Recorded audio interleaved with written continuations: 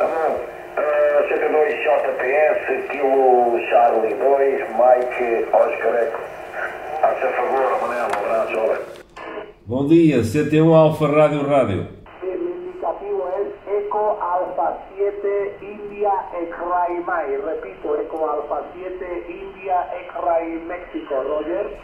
Roger, Roger, Eco Alfa 7, India X-Ray Mike. Charlie Tango 1, Alfa Rádio Rádio. Club Station aqui na cidade de Santarém, centro de Portugal. Ok, over. Ok, estupendo. Muchísimas gracias por el contacto, amigo. Cinco puntitos. Queda por acá agregado al log. Gracias, 7-3 y hasta la próxima. Hasta la próxima, 73, obrigado. Silvio Leiria apanhou o bichinho do radioamadorismo ainda muito jovem e a paixão tem-se mantido forte toda a vida. Hoje é presidente da Associação de Radioamadores do Ribatejo e falou ao Mais Ribatejo das iniciativas que estão a organizar sobre a importância dos rádios e da rádio no 25 de abril de 1974. A Associação vai organizar agora uma, uma exposição uh, nos 50 anos do, do 25 de abril, Exato. uma exposição que vai estar na Sala de Leitura Bernardo Exato. Santareno, aqui em Santarém. Uh, e o que é que vamos pôr, o que é que vamos poder ver nesta exposição? O que é que vocês estão a preparar? Pronto. Nós estamos a preparar é o seguinte, portanto, a exposição no essencial, quer demonstrar o quanto foi importante uh, a rádio na, nas operações do 25 de Abril. Isto surgiu uma ideia que nós já andávamos a, a pensar que tínhamos que fazer alguma coisa pela, pelo, para comemorar o, o, o aniversário, o 50 aniversário do, do 25 de Abril, e depois, perante algumas sugestões que foram dadas pelo próprio município, foi lançado algum desafio também, e nós pensávamos que podíamos fazer uma, dar um contributo uh, significativo para demonstrar uh, o quanto a rádio foi importante no 25 de Abril. Embora nós sejamos rádio amadores, não intervimos no 25 de Abril diretamente, mas há muita coisa que não se sabe que, e que era importante saber.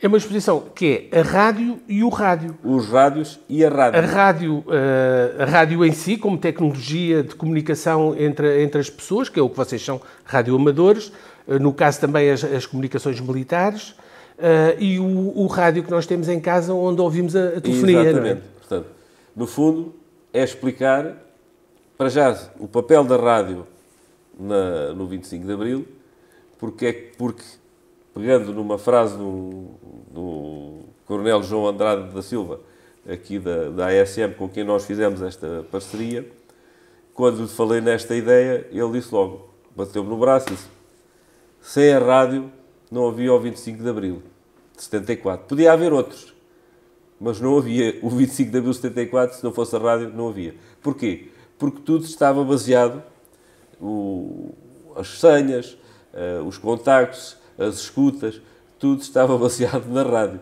Porque na rádio, eh, foi com a rádio que, que se envolveu depois o, uh, as unidades que eram para sair, as unidades que já estavam nos locais, etc. Quem for esta, esta exposição vai poder uh, uh, ouvir as gravações originais, Exatamente. por exemplo, da, da senha, com o locutor o João, João Paulo, Paulo Diniz, a dar a, a, a senha para a partida aqui de Santarém, onde nós estamos aqui na Escola Prática de Cavalaria, Sim. para a partida de, do Salgueiro Maia com os seus homens para Lisboa. Exatamente. Daqui e das outras unidades. Em particular de Santarém, porque nós estamos em Santarém, obviamente. E, e, existe alguma história que eu conheço, mas que muita gente não conhece. Portanto, essa senha foi escutada aqui em Santarém, foram começadas a preparar as coisas e depois houve aquele stress da segunda senha. Também temos ali a gravação original que é quando sai a segunda senha, e então, quando o Salgueiro Maia manda convocar uh, aqui as tropas, e então vão para a parada, fazem a conjugação e, e, depois acabam por sair as forças. E isso tudo, felizmente, que ficou gravado, não só o que se passou antes, como o que se passou durante, graças a, a, a muitos jornalistas e repórteres que, na altura, foram para a rua uh, e fizeram essas gravações e depois essas gravações ficaram como um testemunho, penso eu, uh, excepcional para hoje a juventude e os mais velhos recordarem o, esses tempos. Portanto, na exposição vamos ter uma área em que fazemos a retrospectiva do, do, dos equipamentos militares desde a Guerra Colonial até 1974, que é o, o período que essencialmente nos, nos interessa. Vamos ter equipamentos da Segunda Guerra Mundial, obviamente, mas que também já foram utilizados depois, mais tarde, pela, pelas tropas portuguesas em África. Vamos ter a panóplia, vamos ter os, os, os sete magníficos, são aqueles equipamentos mais conhecidos e que os operadores das transmissões militares vão reconhecer de certeza e, se vão, e vão viver esses, esses momentos.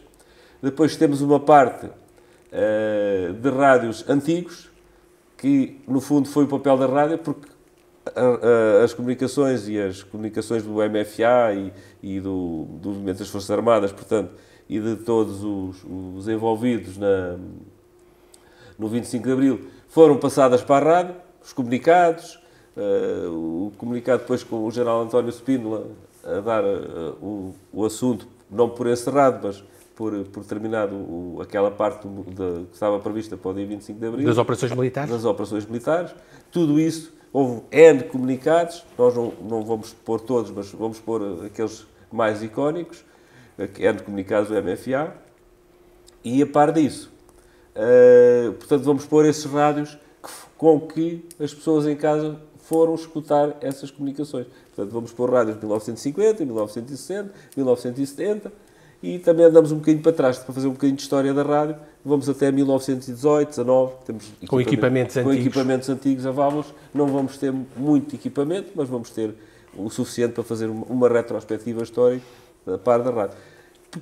Com isso, com isso aproveitamos também para divulgar o radioamadorismo, obviamente, e vamos ter, por exemplo, o primeiro equipamento que o, o capitão Jaime Varela Santos, bem, bem querido Foi o fundador, o fundador, da Rádio fundador Ribatejo. da Rádio Ribatejo. Vamos ter o primeiro equipamento que ele, que ele, com que ele transmitiu, como rádio amador, porque ele também era, para além de, de, de ter lançado a, a Rádio Ribatejo, também era rádio amador.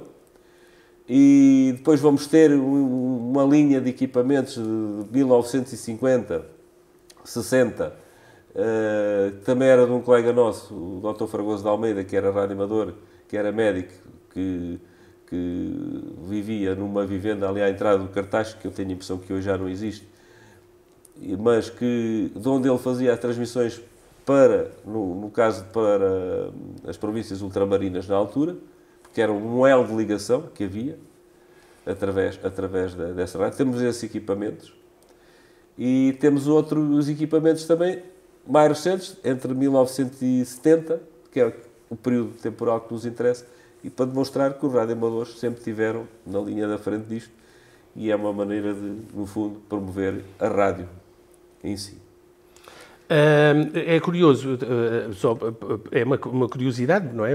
E a importância, tem importância histórica. As senhas do, do, do, do 25 de Abril são transmitidas camufladamente no meio de uma emissão da exatamente, rádio. É, exatamente. Vamos passar, e depois do adeus, vamos passar a música, e aquela música, já é, eles sabiam senha. que com aquela música era a ordem para sair. Exatamente. É? A, a, a, música de preparação em que estava tudo a correr bem a primeira fase das operações, existe uma fita de tempo com as operações, e havia uma, uma fita de tempo em que dizia que e a senha, na realidade, era composta por uma frase que era faltam 5 minutos para as 23 horas, que era o João Paulo Diniz, que através dos emissores associados de Lisboa ia lançar e depois punha a música do, do, do Paulo de Carvalho. Eu conheço a história, mas eu quero que as pessoas conheçam, Sim. porque o João Paulo Diniz vai estar no dia 20 Exatamente, vamos ter uma, uma conferência uma, sim, uh, uma, com vários um, convidados. Um encontro de memórias com vários convidados, em que o, Paulo, o João Paulo Diniz nos vai contar exatamente como é que foi. Eu sei a história, não vou contar agora, mas eu aconselho todos a irem lá ouvir a história. Na está... sala de leitura Bernardo Santareno? Exatamente. Em que dia? No dia 20 de Abril, a um sábado, a partir das 16 horas. É o que até aconselho as pessoas a irem um pouco antes, porque poderão, quem não, não visitar a, a exposição antes, poderá até integrar... Visitar a exposição, a exposição. antes e depois assistir à, à, à, palestra ou à perdão. conversa, não é? Uh, e vamos ter, além do, do, do João Paulo Inês, que é jornalista da, da, da rádio, uh, vamos, quem é que vai estar mais? Vai estar o Coronel João Andrade e Silva, na altura tenente na Escola Prática de Artilharia em Vendas Novas. que foi o homem que mal ouviu faltam 5 minutos para as 23 horas, pegou na arma e foi prender o comandante da unidade. Mas a história vai ele contar. Ele vai contar e ele vai contar. E está o, É é só pôr, não tem está o, também o, o general Garcia Correia, que é aqui, está aqui em Santarém, Sim, exatamente, que ficou aqui, na, Ficou na- aqui no na quartel Escola da- Prática. da Escola Prática, que vai também relatar a sua, a sua, a sua experiência. a sua é? experiência, assim como o sargento Vítor Pássaro, que na altura acho que era Forriel, não tenho a certeza, mas depois confirmaremos isso, Eh, e outros militares que participaram no, no 25 de Abril, que vão estar na, na conferência, e nós só esperamos que as pessoas aproveitem, porque vai ser um momento inédito e, bastante interessante em termos de, de conferência, ou de encontro de memórias, como nós lhes quisermos chamar, eh, um encontro de memórias, e no fundo vão passar a versão de quem estava no estúdio, que não sabia bem o que estava a passar cá fora, foi o caso do João Paulo Diniz, mas ele depois vai contar, como é que foi contactado, porque é que foi contactado, e, e pronto, e toda aquela, aquela, ah, aquela orgânica, como é que aquilo foi, foi criado. É claro que nós gostávamos de ter trazido muito mais, muito mais eh, jornalistas, mas não, não conseguimos, tentámos tudo. Fica para o próximo ano. Fica para o próximo. O Adelino Gomes, por O Adelino exemplo, Gomes era uma das pessoas com quem eu tentei contactar, mas que é a grande referência do jornalismo em Portugal. é.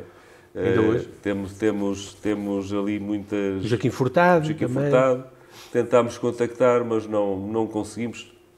Eh, mas a gente sabe que nesta altura estas pessoas estão extremamente. Teríamos que também trazer o Júlio Isidro, mas não conseguimos contactar com, com as pessoas todas. E, portanto, também compreendemos que isto é uma altura em que há muitas solicitações, mas pensamos que o João Paulo Diniz nos vai dar um bom contributo. É claro que sim. Ah, falando um pouco agora do, do radioamadorismo, também é o vosso objetivo. Ah, a Associação dos Radioamadores do, do Ribatejo foi fundada quando? Quantos ah, associados é que tem? Que atividades é que vocês desenvolvem A ao Associação longo do de ano? Rádio Amadores do Ribatejo foi fundada em 29 de março de 1994. Acabámos de fazer, estamos a comemorar também os, os 30 anos. Aliás, temos, temos uma atividade em- em- integrada nos 30 anos que vamos desenvolver até ao final do ano, que tem a ver com a ativação do, do indicativo especial, porque nós temos um indicativo especial que é este, CT1-ARR. Este é o indicativo normal da associação. Nós, Para quem não percebe nada disto, que é o meu caso, o, indicativo é com que vocês se Pronto. identificam nas comunicações. exatamente, normalmente esta parte do indicativo, daqui para aqui, portanto o prefixo, tem a ver com o país de origem. CT1, CT1. Portugal. CT1, Portugal, mas há mais. Há o CS, CS2, CS3, CR, portanto há vários, mas é o chamado prefixo. Existe um conjunto de letras e números nesta parte do, do indicativo que tem a ver com, com a localização ou com o país de origem. Se for em Espanha, é o Eco Alfa, se for em França, é o Fo- Foxtrot, ou o F, porque estou a falar já a linguagem De- de, rádio de rádio amador. será de ser um F, mas eh, se for, eh, se for, eh, por exemplo, Essa linguagem que é usada pela- pelas forças de segurança, pelos bombeiros. Não, há, há o código fonético. O B é o Bravo, Sim, sim. não é? Há um código é o- fonético. O código fonético internacional que nós utilizamos. Toda a gente usa. utiliza. Depois, o, o sufixo, que é esta parte, já é atribuída, ah, vamos lá, sequencialmente pela ANACOM. No nosso caso, como somos a associação, na altura pedimos que não fosse atribuído sequencialmente, mas que fosse atribuído pelo Associação Personalizado. Amadores do Ribatejo. É o É personalizado. o personalizado para a associação e quase todas as associações eh, têm essa particularidade de, de terem um indicativo que tenha logo a ver. Portanto, CT1, Portugal, eh, ARR, neste caso. Identificação. De, de- portanto, formámos em 94, já tínhamos ligação aqui entre vários radioamadores da, da, da região do Ribatejo. Peço perdão.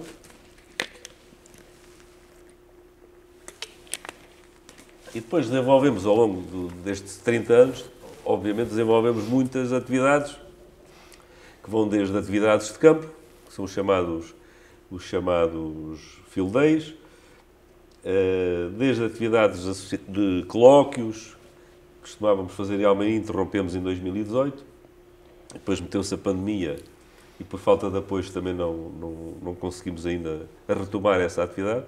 Fizemos desde 2004 até 2017 13 colóquios todos os anos em Almeirim, mas este ano, este ano não, nestes últimos anos, e depois com, tivemos falta de apoio e acabámos por interromper, eram encontros técnicos que vinham radioamadores de todo o país e até do estrangeiro. Tínhamos convidados que vinham de fora e até daqui de Espanha, que vinham colegas de Espanha, uh, vinham cá aos nossos colóquios. Depois temos atividades aqui na, na, sede que têm a ver com formação de novos associados. Nós chamamos a nossa sede a Academia da ARR, porque é aqui que formamos os nossos, os nossos radioamadores mais jovens. Quando digo mais jovens, não quer dizer que sejam uh, colegas que entrem para o radioamadorismo com pouca idade. Portanto, temos colegas que entram já com uma idade até avançada e vêm aqui e fazem, fazem um curso, porque para ser radioamador é preciso ter alguns conhecimentos técnicos e de legislação. Eles fazem aqui os cursos, são propostos a exame, vão fazer o exame e recebem o tal indicativo que é formado pelo prefixo e pelo sufixo.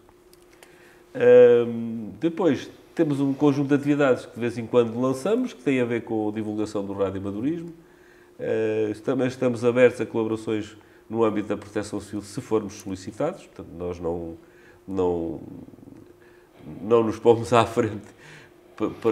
Achamos que Portugal tem, tem o seu Serviço Nacional de Proteção Civil, mas em caso de falha de comunicações, nós temos, Também. temos ali. E, e tem uma colaboração.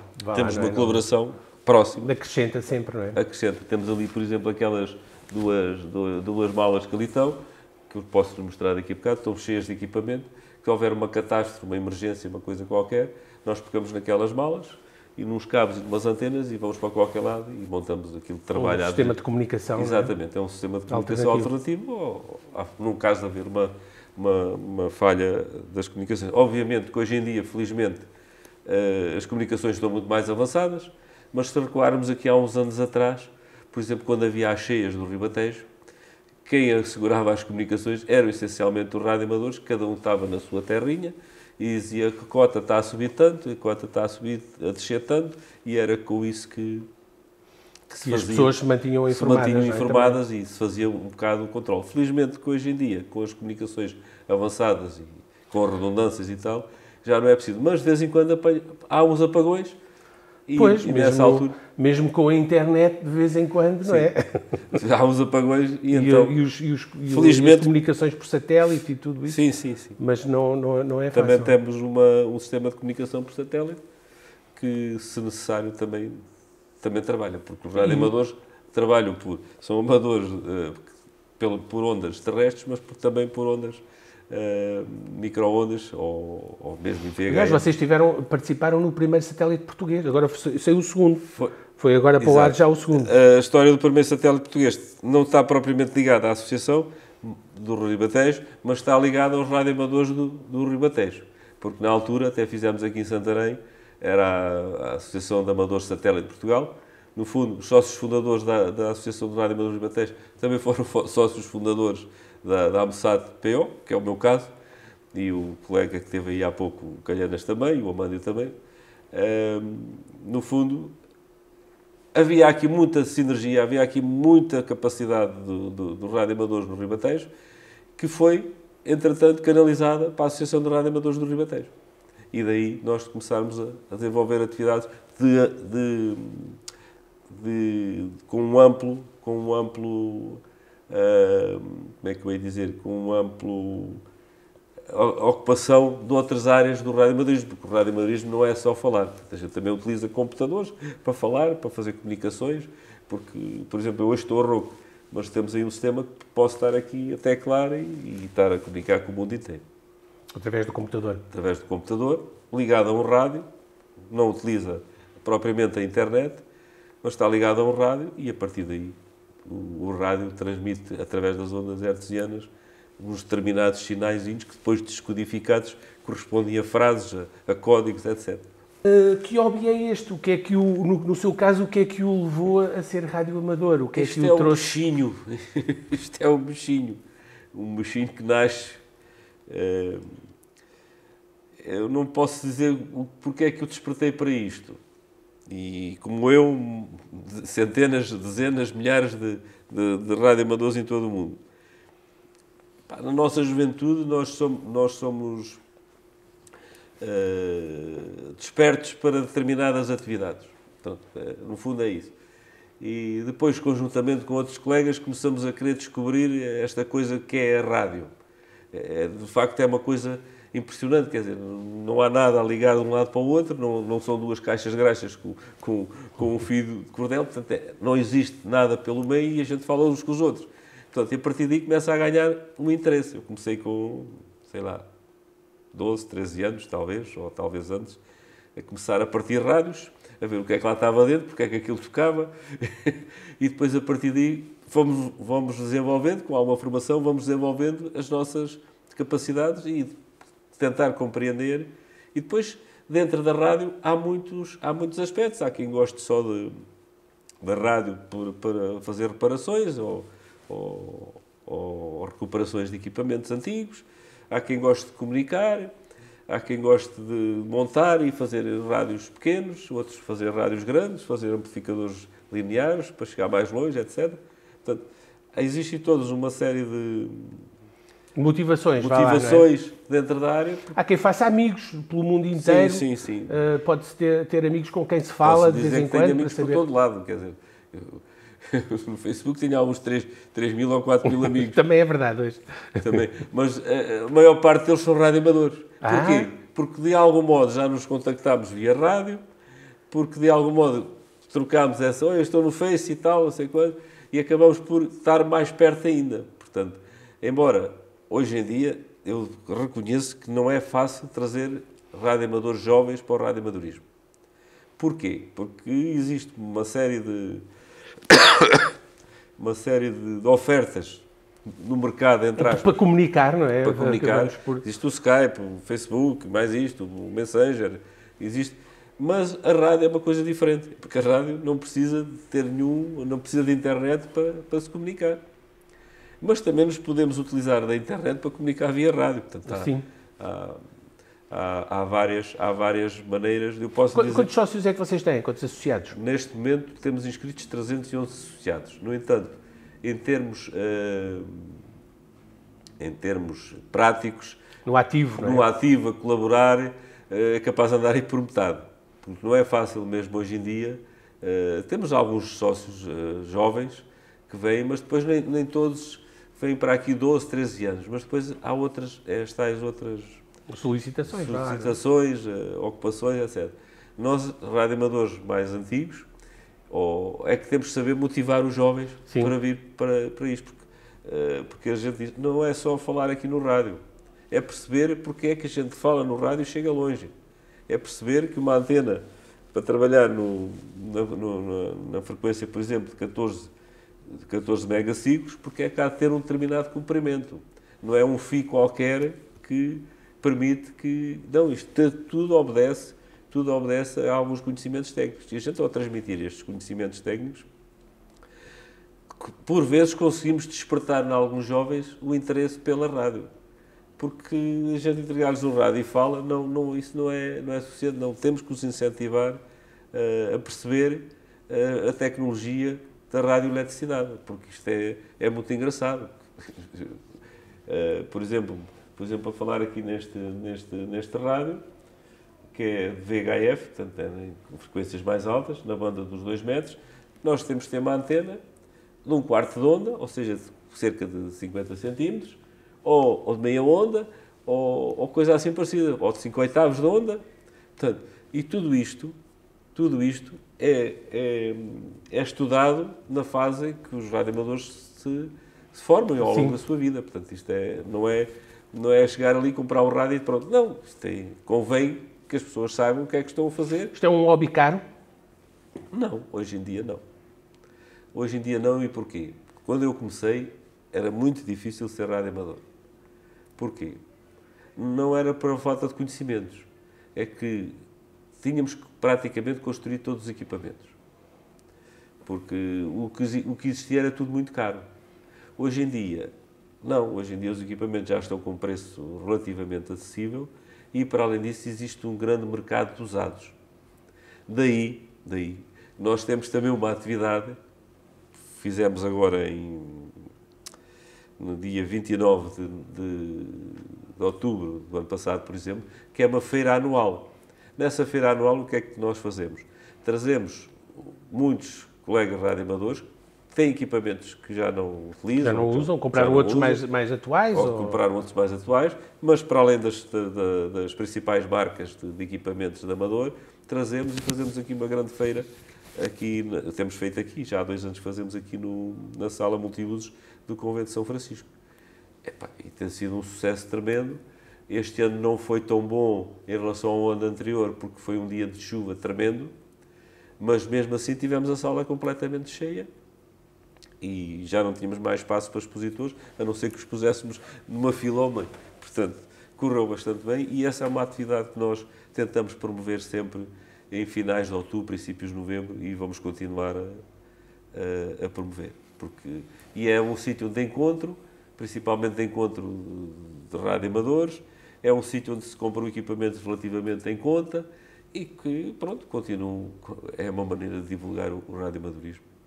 Uma, uma, coisa boa foi também esta sede, eh, onde estamos aqui, foi, foi. Na, na, na, na, Escola, Escola Prática, Prática de Cavalaria. Tem aqui uma, umas ótimas instalações, bem localizadas. Sim, nós tínhamos uh, uma sede anteriormente no, no campo Emílio Fonte da Câmara, lá embaixo. Só que a sede ali já estava muito degradada e, e além disso, assaltavam-nos continuamente. Uh, entretanto, eu já estava na preparação para, para o jubilado, em termos de trabalho, e na altura a associação estava ali a passar uma crise grande, até porque não tínhamos sítios para nos reunirmos, a sede não tinha condições, chovia lá dentro, então pedimos, fizemos um forcing aqui junto da Câmara Municipal, disse, temos aqui estes associados todos, isto, pensamos que é importante para a cidade de Santarém, nós termos aqui uma sede uh, condigna para receber as pessoas, para termos a nossa estação, no caso, fazermos as nossas formações, termos as nossas reuniões. E então lá conseguimos uh, que a Câmara nos cedesse este espaço. Para além deste espaço, temos outro espaço lá mais abaixo, que é um espaço que ainda estamos a recuperar, que era a antiga casa de, onde estavam os feixes artesianos aqui da Escola Prática e que vamos tentar agora recuperar. Porquê? Porque nós aqui não podemos montar antenas grandes.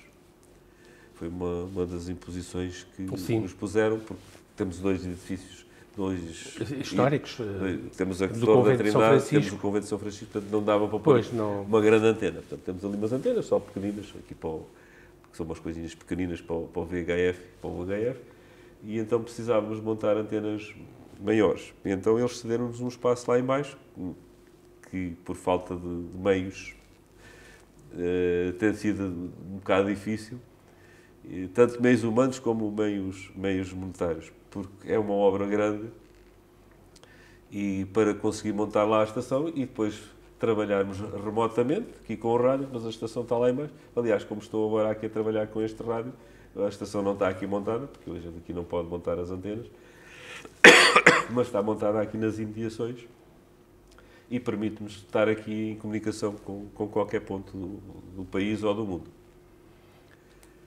Portanto, é, temos, temos muita, muita, uhum. muito trabalho ainda para fazer. Isto nunca se acaba aqui nesta É verdade. Nunca se acaba. Haja vontade e, e algum dinheiro que a gente vai fazendo.